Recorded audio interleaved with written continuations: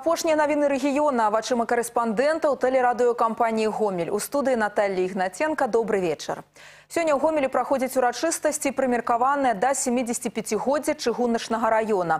Падчас утварэння ў 1940 годзе ён займаў невялікую тэрыторыю ў паўночнай і часткова цэнтральнай частках горада.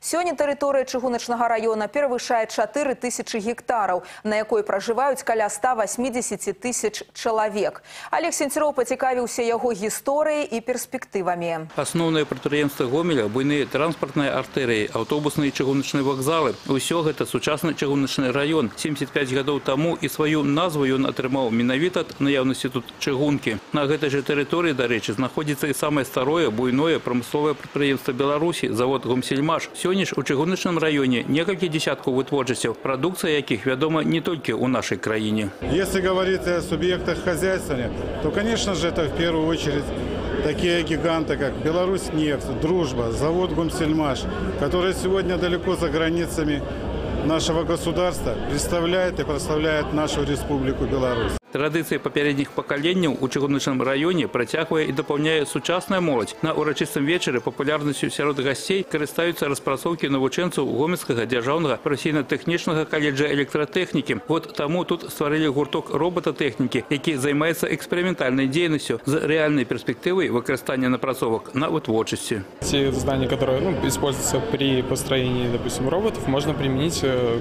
к примеру, при построении промышленных, допустим, станков, либо каких-то других устройств. Ну, то есть те же алгоритмы. У адміністрацыі чыгуначнага раёна гомеля падкрэсліваюць 75годдзя гэта перш за ўсё свята мясцовага насельніцтва. Урэшце усе дасягненні раёна вынік іх працы. Тут увогуле пражывала шмат знакамітых людзей, герояў Савецкага Саюза, сацыялістычнай працы, чэмпіёнаў і прызёраў спартыўных спаборніцтваў міжнароднага ўзроўню. Свой адбітак у гісторыі чыгуначнага раёна пакінулі таксама асобы, якія былі без перабольшвання сусветнымі знакамітасцямі. Ваенны аэрадром у Гомеле пабудавалі пасля заканчэння грамадзянскай вайны. Кажуць, што яго рэшткі да гэтага часу знаходзяцца пад сучасным скверам будаўнікоў. У 1928 годзе тут служыў военлёт Валерый Чкалаў. У апошнія гады ў чыгуначным раёне праведзена вялікая работа па добраўпарадкаванні тэрыторыі. Чалавеку, кажуць, неабходна ствараць умовы не толькі для працы, але і адпачынку. Хоць аб здароўі людзей тут таксама не забываюцца. Урэшце, развівацца раён павінен комплексна і ўсебакова. В прошлом году ввели в эксплуатацию ожоговый центр, обеспечили больницу современным диагностическим оборудованием, внедрением высоких технологий и улучшением показателей здоровья населения. Олег Сенцюроў, Ігор Марыченко, тэлерадыёкампанія «Гомель». Гомельскі абласны клінічны алкалагічны дыспансер сёння азначае сваё 70годдзе. Зараз у гэтай установе штогод праводзіцца больш як 8 тысяч аперацый, з іх прыкладна 300 высокатэхналагічных. Ад аднаго кабінета, дзе праводзіўся толькі амбулаторны прыём да сучаснай медыцынскай установы. За 70 гадоў абласны анкалагічны дыспансер зрабіў значны крок наперад. Зараз сучасная анкалогія знаходзіцца на такой стадыі развіцця, якая пры своечасовым выяўленні захворвання захворвання дазваляе не толькі выратаваць чалавека, але забяспечыць яму высокую якасць жыцця. Па словах кіраўніцтва гомельскага анкадыспансера сёння тут аказваецца спецыялізаванае лячэнне на сучасным узроўні з прымяненнем дасягненняў сусветнай медыцыны. Штогод ва ўстанове праходзіць лячэнне амаль 20 тысяч хворых з розных краін. Яшчэ каля 120 тысяч пацыентаў атрымліваюць дапамогу ў паліклініцы. Мы работаем фактически на уровне мировых стандартов. Конечно, какие-то проблемы у нас есть, как и везде, во всей стране, но я сказал бы, уровень высокий. Э, Я вот скажу, что, наверное, мы работаем на уровне э, не онкологии Минского, наверное, не хуже. Я езжу и в другие страны, в СНГ, в Россию, и вот и по странам СНГ, которые проходят у нас различные мероприятия. Онкологи собираются часто и обсуждают вопросы. Я думаю, что уровень довольно велик. Потому что у нас, я вам скажу, лечится много людей и с Украины, и с России. Я і з Прибалтики. Чарговая тэлефонная размова з жыхарамі рэгіёнаў па хвалючых іх пытаннях адбудзецца заўтра. Прадстаўнікі ўлады правядуць прамыя лініі. З 9 до 12 гадзін звароты грамадзян будзе прымаць намеснік старшыні гомельскага абласнога выканаўчага камітэта Владзімир Владзімирович Гарбачоў. Нумар тэлефона ў гомелі 75 12 37. Паралельна прамую лінію правядзе намеснік старшыні гомельскага гарадскога выканаўчага камітэта Сергей Анатольевич Радзюк. Званкоў ад жыхароў абласнога цэнтра чакаюць па нумары 75 18 54. Як і заўсёды па суботах прамыя лініі будуць арганізаваны таксама ў раённых адміністрацыях і райвыканкамах. Згодна з указам прэзідэнта Рэспублікі Беларусь нумар 222 аб рэгуляванні прадпрымальніцкай дзейнасці падыходзіць да канца тэрмін рэалізацыі прадукцыі, якая не мае неабходных дакументаў аб пацверджанні паходжання і пастаўшчыка. Такія тавары неабходна прадаць да канца 2015 года. За продаж несертыфікаваных тавараў на тэрыторыі мытнага саюза прадугледжваецца немалы штраф, а прадукцыя падлягае канфіскацыі. У сувязі з чакаемымі зменамі 500 чалавек па гомельскай вобласці змянілі сферу сваёй дзейнасці. Каля 5 тысяч прадпрымальнікаў сцвярджае, што ў кожнага з іх знаходзіцца занадта шмат рэшткаў прадукцыі, прадаць якія да канца года не з'яўляецца магчымым. Між тым зрабіць гэта можна было на працягу 18 папярэдніх месяцаў. Апрача таго, на дадзены момант 60% прадпрымальнікаў маюць усе неабходныя дакументы документы. Не зря каждый из регламентов начинается со слов о безопасности. О безопасности пищевой продукции, о безопасности продукции легкой промышленности, о безопасности продукции для детей и подростков. Зараз адзначаецца рост наёмнай працы ў індывідуальных прадпрымальнікаў. Дарэчы, у цэлым скарачэнняў працоўных месцаў няма. Між тым сёння працягваецца работа на карысць пакупнікоў. Акрамя абавязковых з наступнага года сертыфікацыі дэкларавання ў мэтах спажывецкага камфорту і бяспекі з 1 студзеня кожны індывідуальны прадпрымальнік павінен установить тэрмінал. Давайте посмотрим с точки зрения потребителя, ведь не заставляют ставить выслуженные терминалы в достаточно большом количестве мест. Да, это затратно, но с точки зрения потребителей и мне, и вам, и наверное, вашим близким удобнее рассчитываться карточкой. Акрамя таго, такія новаўвядзенні ніяк не адаб'юцца на кошце і разнастайнасці тавараў. Кацярына Сапельнікова, Ігор Марышенко, тэлерадыёкампанія «Гомель». З часоў братоў Люм'ер кіно было і застаецца любімай забавай мільёнаў людзей ва ўсім свеце. На гэтым тыдні сваё прафесійнае свята адзначыла менавіта беларуская кінаіндустрыя. У прыватнасці у гомельскай вобласці сёння знаходзіцца 20 кінатэатраў. Наш корэспандэнт Ганна Кавалёва пабывала ў гасцях у камунальнага унітарнага прадпрыемства гомель кінавідэапракат. Гутарка аб новых тэхналогіях, самых касавых фільмах года, некамерцыйным беларускім кіно і многім іншым ішла з генеральным дырэктарам прадпрыемства Александром Лаўрыненкам. Інтэрв'ю з ім глядзіце ў праграме навіны тыдня ў нядзелю ў 2030 на тэлеканале Беларусь-4. У Гомелі адбылася прэм'ера аднаго з самых чаканых фільмаў гэтага года зорныя войны абуджэнне сілы. Першая стужка культавай сагі выйшла на экраны ў 1977 годзе. Яна атрымала вялікі поспех, таму ў хуткім часе за ёй з'явіліся два працягі.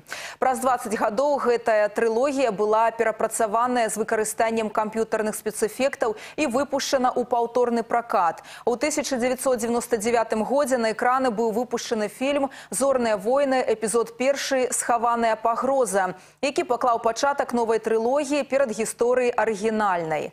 Пра тое, як у гомелі сустрэлі сёмы фільм сусветна вядомай кінаэпапеі, раскажа Вераніка Варашыліна.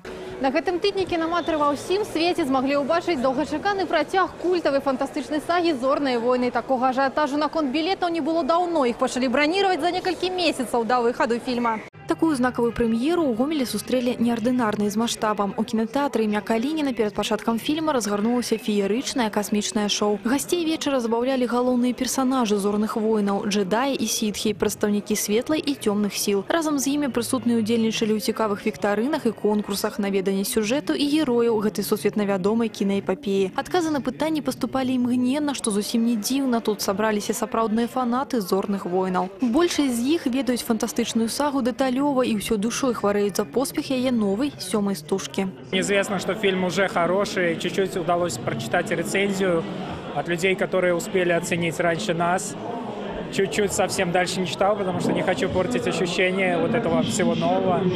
А будет круто просто, я это чувствую. Між тым для стварэння яшчэ большай атмасферы фантастыкі і экшана тут таксама размясцілі амаль трохметровых трансформераў. Яны хоць і не маюць прамога дачынення да фільма зорныя войны, аднак гэты атракцыён карыстаўся ў гасцей не меншым попытам. За некалькі хвілін да дэманстрацыі кінастужкі ў зале кінатэатра разгарнулася светлавое шоу бітва джедаю і сітхаў, колер мячоў якіх характарызуе іх станоўчае або адмоўнае прызначэнне. Пасля гэтага адбыўся паказ доўгачаканай прэм'еры. Многія кінаэксперты сыходзяцца ў меркаванні стужка зорныя войны мае ўсе шансы каб стаць адным з самых касавых фільмаў за ўсю гісторыю сусветнага кінематографа. З гэтымі прагнозамі згодны і супрацоўнікі кінаіндустрыі гомельшчыны. В 2015 году наиболее кассовым фильмом у нас числится в настоящий момент фильм «Форсаж 7», который, где мы собрали около 1 миллиарда рублей. Но, судя по количеству проданных предварительно билетов, их продано более 4 тысяч билетов на «Звездные войны. Пробуждение силы», седьмая часть,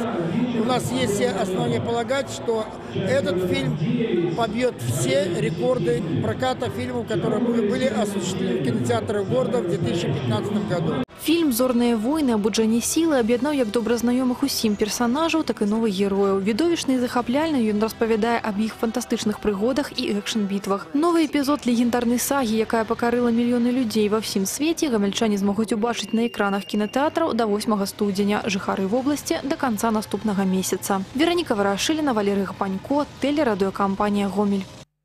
У Гомельскай вобласці стартаваў сезон дабрачынных пераднавагодніх спектакляў. Адзін з іх адбыўся на сцэне ў лукаўскай дапаможнай школы інтэрната. Гледачамі стала і наша здымачная група. Тэатральны мікс адразу з дзвюх казак прадставіла трупа гомельскага абласнога драматычнага тэатра. Праўда, не на сваіх падмостках спектакль бураціна ў ізумрудным горадзе ўбачылі выхаванцы ў лукаўскай дапаможнай школы інтэрната. Гэты паказ стаў часткай буйнога дабрачыннага марафону, прымеркаванага да святкавання новага года. Новый год – это всегда э, надежда на что-то лучше, всегда надежда на сбывание мечты. Ну и куда, как не сюда, э, мы приехали в преддверии этого праздника.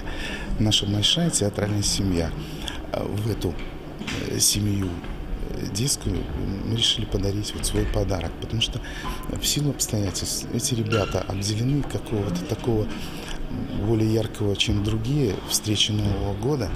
Ну и как мы могли забыть наших самых дорогих, самых маленьких зрителей. Гісторыю пра прыгоды бураціны, мальвіны і саламянага пудзіла ўжо ўбачылі ў многіх школах і дзіцячых садках. На працягу гэтага года артысты прэзентавалі спектакль па ўсёй вобласці. Тут же яго прадставілі ўпершыню. Наши дети сегодня очень рады, потому что ждали давно этого события.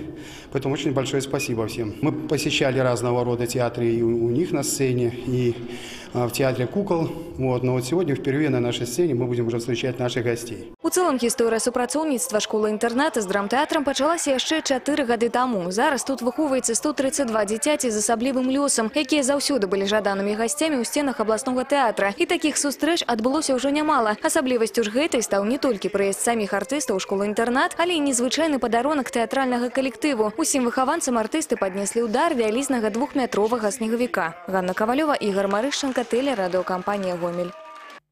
Навіны рэгіёна інфармацыю аб праектах тэлерадыёкампаніі Гомель вы можете знайсці на нашым сайце ў інтэрнэце па адрасе трайное w.цвергомел.бівай. І на гэтым выпуск завершаны ў студыі працавала Наталі Ігнаценка. Я і мае калегі жадаем вам удалага вечара. Да новых сустрэч у эфіры.